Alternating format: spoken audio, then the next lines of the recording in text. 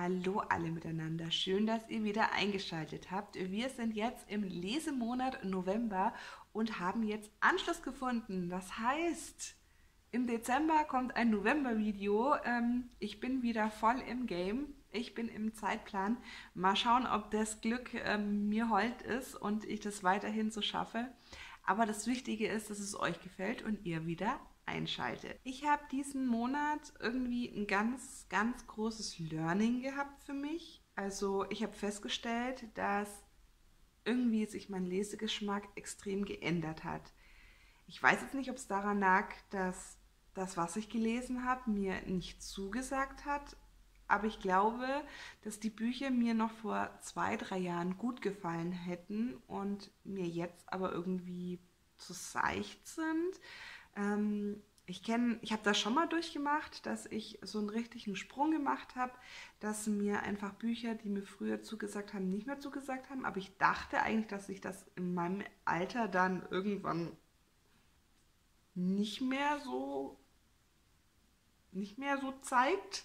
Aber diesen Monat war es so und deswegen habe ich auch ähm, ja, ordentlich Bücher abgebrochen, weil ich mir gedacht habe, nee, es ist einfach nicht mehr meins und deswegen ähm, quäle ich mich dann auch nicht durch irgendwelche Bücher, die mir überhaupt keine Freude oder Mehrwert bringen. Ich breche sie dann lieber ab und habe dann mehr Lesezeit für andere tolle Bücher. Und äh, das erste Buch, äh, mit dem wir anfangen, ist von einer Autorin, ähm, die hier hinter mir im Regal steht, die ich sehr geliebt habe. Und zwar spreche ich von Kelly Moran oder Kelly Moran. Ähm, die hat die Redwood-Reihe gemacht und die fand ich total schön. Ähm, da hat es mir gefallen, dass es nicht so viele Klischees gab. Ähm, das Setting von Redwood war total schön, dieses kleine Örtchen und auch die Liebesbeziehungen, ähm, denen man gefolgt ist, waren ja, irgendwie total nett. Jeder hat so seine Eigenheiten gehabt und der andere hat ähm, ihn so gelassen, beziehungsweise dabei unterstützt, die Dinge zu tun, die er möchte. Und ja, in dem Buch war das ganz anders. Kissing in the Rain. Ich kann euch gar nicht viel davon erzählen, weil ich es eben schon nach, keine Ahnung, 80, 90 Seiten abgebrochen hat. Es ist voll von Klischees es geht dabei um Cameron, die eine große Familie hat ähm, und auf eine Hochzeit eingeladen ist. Der Freund macht Schluss und so muss der langjährige Kumpel herhalten und mit ihr auf die Hochzeit gehen und naja, die werden sich verlieben und ähm, es hat mir so überhaupt gar nichts gegeben. Deswegen möchte ich auch dem Buch nicht so viel Zeit einräumen und hier in dem Video lieber auf Bücher eingehen, die mir mehr Freude bereitet haben. Und manchmal ist es ja auch seltsam, dass man im tiefsten Winter Lust bekommt auf ein Sommerbuch. Also für mich auf jeden Fall. Andersrum ist es für mich nicht so seltsam, wenn ich im Sommer Bock habe auf ein totales Winterbuch. Aber im Winter auf ein Sommerbuch, naja, ich werde halt alt. Ähm, ich habe ein Buch gelesen, von dem ich schon einen Film gesehen habe. Der Film hat mir so, naja, gefallen. Das Buch hat mir tatsächlich besser gefallen, aber es ist kein ganzes Highlight gewesen, weil auch aus dem Alter bin ich raus. Ich spreche von Chick, das ist definitiv ein Jugendroman. Ähm, hier begehen zwei mehr oder weniger dicke Freunde einen Roadtrip. Besser gesagt, die beiden freunden sich auf dem Roadtrip an und werden danach beste Freunde. Es geht hier um Mike Klingenberg. Er ist äh, sehr privilegiert aufgewachsen. Ähm, seine Eltern haben ohne Ende Kohle. Ähm, großes Haus, ein Pool, eine Angestellte, aber sonst fehlt es Mike eigentlich an allen, vor allem an, äh, ja, an Eltern, die sich um ihn kümmern. Seine Mutter ist alkoholkrank und begibt sich mal wieder in eine Entzugsklinik und der Vater sieht es dann auch nicht ein, in den Sommerferien bei seinem Sohn zu bleiben, sondern fährt lieber mit seiner was Sekretärin oder mit seiner Assistentin in den Urlaub. Und Mike ist auch ein Einzelkind und deswegen sechs Wochen komplett allein. In der Schule hat er Chick schon kennengelernt, wobei kennengelernt ähm, eher das falsche Wort ist. Ähm, Chick ist sehr verschlossen und heißt in Wirklichkeit Andrei Cicanovic. Andrei Cicano, Cicatschow? Cicatschow. ähm, für uns Deutsche ein wirklich schwerer Name. Ich glaube, seine Familie kommt ursprünglich aus Russland und ähm, ja, er ist einer der wenigen, der es bis an ein Gymnasium geschafft hat und in diesem Gymnasium, in dieser Klasse trifft er eben auf Mike. Obwohl man während des Unterrichts nie das Gefühl hatte, dass Chick sich mit Mike anfreunden möchte, ähm, findet doch in den Sommerferien eine Annäherung statt. Und ja, ich glaube, ich nehme nicht zu viel vorweg, dass äh, Chick sich einen Wagen ich nenne es mal, borgt und damit auf große Reise mit Mike durch Deutschland fährt und ja, vieles erlebt. Ähm, die Geschichte an sich habe ich sehr gemocht, ähm, weil beide so ungleich sind und irgendwie doch immer einen gemeinsamen Nenner finden oder den anderen dann aber auch so lassen, wie sie sind. Es kommt sprachlich immer wieder zu ein paar kniffligen Situationen, die aber auch mega unterhaltsam sind. Zum Thema Sprache muss man auf jeden Fall wissen, das Buch ist in einer sehr starken Jugendsprache geschrieben. Es ist alles aus Sicht von Mike erzählt und ja, so wie man sich vorstellt, dass Jugendliche untereinander sprechen, so denkt er eben auch und das äh, wird in dem Buch auch so wiedergegeben. Das macht aber auch das Buch ein bisschen aus. Ein neuer Tag, ein neues Glück. Ähm, ich konnte gestern leider nicht äh, mein Video zu Ende drehen, da der Kleine beschlossen hat, den Mittagsschlaf etwas abzukürzen. Ähm, ja, deswegen ähm, ich heute im anderen Gewand, aber wir machen einfach beim Lesemonat weiter. Ich hatte euch ja gerade hier den Chick und Kissing in the Rain äh, vorgestellt und dann äh, machen wir einfach weiter. Und zwar habe ich gelesen Weihnachten in der kleinen Bäckerei am Strand. Ähm, da gibt es mehrere Bände von. Ich habe einfach irgendeinen genommen. Ich fand da das Cover schön. Ich wollte was Weihnachtliches äh, und Leichtes. Das spielt in Cornwall und äh, ja, also leicht war die Literatur schon, aber, und jetzt sind wir wieder beim Thema, das ist mir einfach mittlerweile zu leichte, zu oberflächliche Lektüre und ähm, ja, man kann es lesen, aber für mich sind da mehr Fragen irgendwie gekommen, als, als ich dachte. Es geht nämlich um Polly, die eben diese kleine Bäckerei an Cornwalls Küste auf einer kleinen Insel betreibt. Ähm, ein wunderschönes Setting, das muss ich schon sagen. Aber ähm, sie betreibt eben eine kleine Bäckerei und äh, ist scheinbar ständig in Geldnöten. Sie sagt, sie möchte ihre Produkte nicht zu teuer verkaufen, da dann die Einheimischen eben teuer Brot und so weiter kaufen müssen. Ähm, und den Touristen will sie es nicht teurer verkaufen, weil das dann unfair wäre. Ähm, sie kann natürlich nicht unterschiedliche Preise für unterschiedliche Kunden verlangen, was ich schon verstehe, aber man könnte ja auch unter anderem Produkte, die die ähm, Touris gern haben, einfach ein bisschen teurer anbieten. Naja, ist ja egal. Auf jeden Fall lebt sie mit ihrem Freund Hackel in einem Leuchtturm, den sie gekauft hat, der natürlich auch dazu noch ähm, renovierungsbedürftig ist. Und äh, ja, er ist Imker und verdient nicht viel. Ich denke mir immer, wenn man Imker ist, ist das denn ein Vollzeitjob? Also wenn man nicht viel verkauft, dann hat man doch vielleicht auch nicht so viele Bienen, um die man sich kümmern muss weiß nicht, kennt ihr euch mit Imkerei aus? Ist das ein 40-Stunden-Job die Woche oder ähm, kann man da vielleicht noch einen Nebenjob annehmen, um die Frau etwas in der Bäckerei zu entlasten? Ja. Ähm, was hier hinten noch drauf steht, ist, ähm, außerdem ist da noch die leidige Frage, wer die Bäckerei weiterführen darf. Äh, diese Frage wurde weder in dem Buch gestellt, noch äh, ist irgendwas damit beantwortet worden. Also von dem Thema habe ich in dem Buch nichts mitbekommen.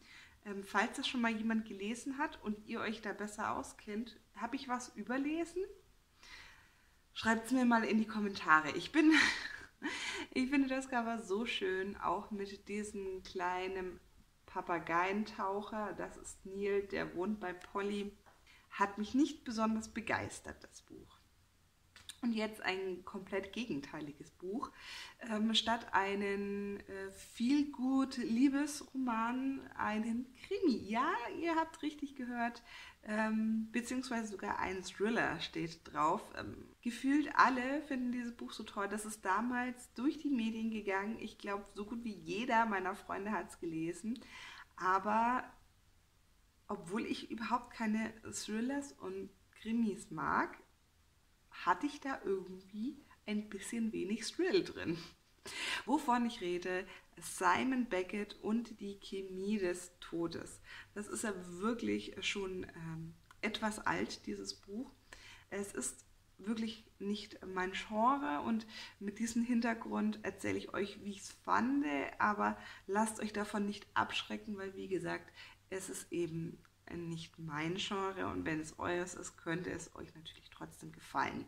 Es geht um David Hunter, das ist übrigens auch eine Reihe. Es gibt noch mehrere ähm, Bücher, die mit David Hunter erschienen sind.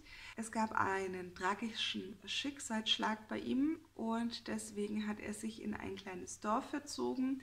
Vorher war er forensischer Anthropologe und jetzt ist er der Haus- und Dorfarzt geworden. Der dortige Dorfarzt ähm, kann seinen Dienst nicht mehr komplett verrichten und benötigt Hilfe. Und deswegen hat David Hunter ähm, eben diese Stelle bekommen. Der, die Ärzte fanden sich sympathisch.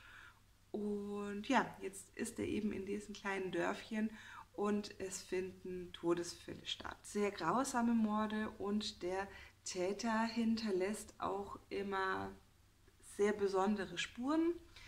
Und ja, die Polizei hat da in dem Kaff wohl noch nicht so viele Todesfälle bearbeitet. Ähm, er kommt eben zu den Leichen und kann dort anhand von ähm, zum Beispiel Insekten bzw. Larvenentwicklung oder Verpuppung und so weiter erkennen, wie lange die Leiche schon tot ist und hat so ein paar mehr Tricks drauf, um der Polizei unter die Arme zu greifen, wie zum Beispiel auch, wenn Gliedmaßen abgetrennt sind, ähm, ob das mit, mit welchem Werkzeug das äh, vollzogen wurde, eben solche Dinge hilft er der Polizei und ich sag's mal, der Fall wird am Schluss gelöst und mich hat es nicht besonders in den Bann gezogen, aber jetzt habe ich auch meinen Simon Beckett auf jeden Fall gelesen und kann da mitreden. So, dann haben wir noch zwei Bücher, ein echtes Highlight und ein abgebrochenes Buch. Ich fange mal mit dem abgebrochenen Buch an. Das war ein Buch aus meiner Lese-Challenge, 22 Bücher für das Jahr 22. Ähm, ich habe herausgefunden, dass es eine abgefahrene Verfilmung davon in den ich weiß jetzt nicht, 70er oder ich denke eher 80ern gab äh, mit Tom Hanks, die schaut so, so skurril aus. Die muss ich unbedingt mir noch anschauen. Aktuell ist jetzt leider auf kein Streaming-Portal ähm, zur Verfügung, aber ich bin mir sicher, der Film ähm, scheint ein richtiger Klassiker zu sein, zumindest was ich in den Kommentaren gelesen habe und er ist auch gar nicht so schlecht bewertet. Ähm, möchte ich unbedingt noch lesen, aber mit dem Buch bin ich überhaupt nicht warm geworden. Ich spreche hier von Tom Wolfs Fegefeuer der Eitelkeiten. Ähm, grundsätzlich habe ich hier in dem Buch schon ein Problem mit dem Satz gehabt. Ich weiß nicht, ob man das hier erkennen kann. Ähm, es ist unglaublich viel Text in diesem großen formatigen Buch. Also wenn man jetzt zum Beispiel mal den Simon Beckett, oh, der ist ein schlechtes Beispiel, wenn man jetzt zum Beispiel mal die Bäckerei hier hinhält, dann sieht man gleich, dass das um einiges größer ist, das Format. Und es ist sehr eng bedruckt. Der Zeilenabstand ist sehr, sehr eng. Und deswegen hatte ich ähm, das Gefühl, im Buch überhaupt nicht voranzukommen, obwohl ich viel Lesezeit drauf verwendet habe. Also ich habe ungefähr bis Seite 80 gelesen. Das Buch hat 800 Seiten, also ich habe 10% davon gelesen, habe wirklich lange schon an dem Buch gesessen. Zusätzlich hatte ich auch noch das Problem, dass ich überhaupt nicht in die Sprache reingekommen bin, in den Sprachfluss. Und äh, ja, ich habe es abgebrochen. In jedem einzelnen Kapitel, zumindest soweit ich gelesen habe, ging es um verschiedene Männer. Alle leben in New York.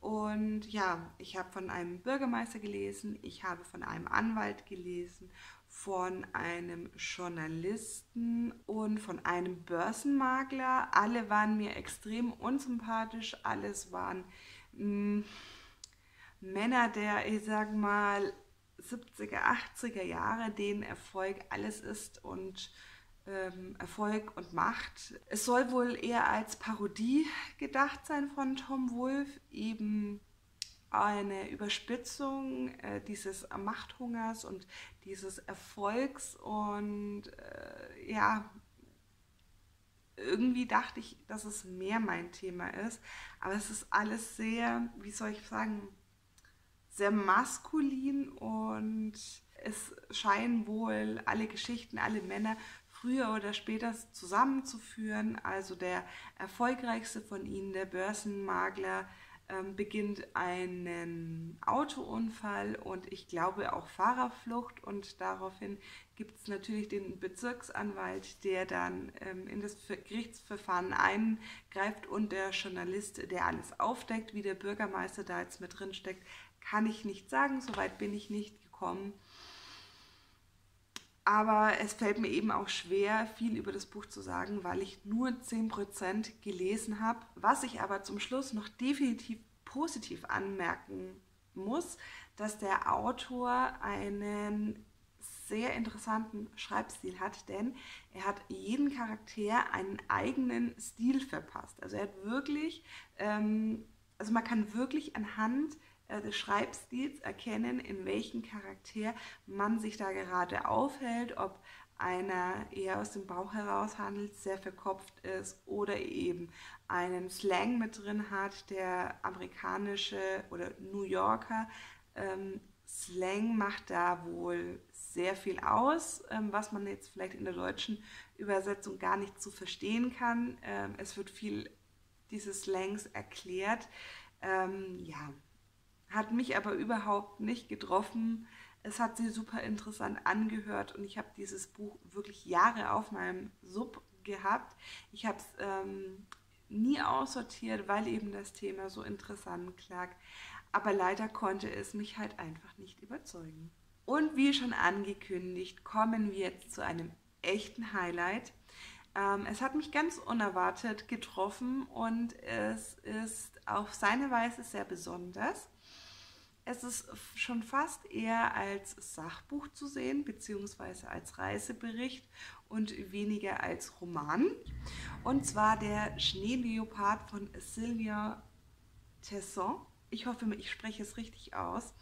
Er ist zusammen mit einem sehr bekannten Tierfotograf nach Tibet gefahren, um einen Schneeleoparden zu fotografieren. Auch hier hoffe ich, dass ich ihn richtig ausspreche. Und zwar geht es um den Tierfotograf Vincent Monnier. Ähm, die beiden machen sich mit zwei anderen auf den Weg ähm, in die eisige Kälte und dieses Buch besticht vor allem dadurch, dass es sehr philosophisch ist und den Schnee, die Kälte und die wunderschöne Umgebung um Tibet herum wunderbar beschreibt.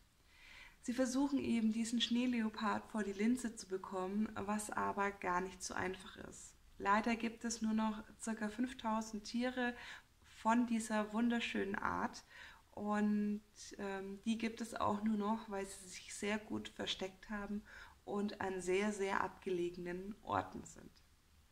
Mich hat dieses Buch begeistert. Die Kapitel sind kurz, die Landschaftsbeschreibungen sind wunderschön und dieses Buch reißt ganz viele philosophische Grundsätze an. Es führt einen sehr gut vor Augen, wie grausam und wie unnötig wir Menschen tagtäglich handeln, wie selbstsüchtig wir sind und wie sehr wir uns und vor allem unsere Natur und Umwelt jeden Tag in Gefahr bringen. Es werden immer wieder Philosophen, Dichter, Autoren aus ähm, allen Ländern, aus allen ja, Jahrhunderten zitiert und ähm, es gibt wunderbar viele Denkanstöße. Natürlich ist das Buch sehr dünn, wie gesagt, die Kapitel kurz und es ist kein Buch, das in die Tiefe geht. Ich kann es so fühlen, wie dieser Autor tagelang, nächtelang, wochenlang in dieser Kälte gesessen hat und sich Gedanken über Gott und die Welt im wahrsten Sinne des Wortes gemacht hat, es aufgeschrieben hat und uns dankenswerterweise zur Verfügung gestellt hat. Ja, große Liebe von mir, wer Lust hat auf ein bisschen Nachdenken, ein bisschen Entspannen und ein bisschen Schnee. Jetzt um die kalte Jahreszeit ist es perfekt. Es ist auch kein Weihnachtsbuch. Man kann es super Januar, Februar lesen. Und ähm, ich habe es einfach genossen und geliebt. Und ja, es wird definitiv in meine Jahreshighlights einziehen. Und das war's auch schon wieder. Es freut mich, dass ihr eingeschaltet habt. Äh, lasst mir einen Kommentar da, äh, wenn ihr schon eins dieser Bücher gelesen habt oder mir auf meine zahllosen Fragen antworten könnt. Ähm, ich würde mich sehr freuen, wenn ihr auch beim nächsten Mal wieder einschaltet. Und ja, bis bald. Tschüss.